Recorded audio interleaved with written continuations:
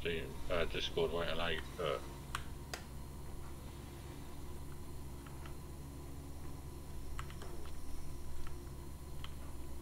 Eight megabytes maximum without again.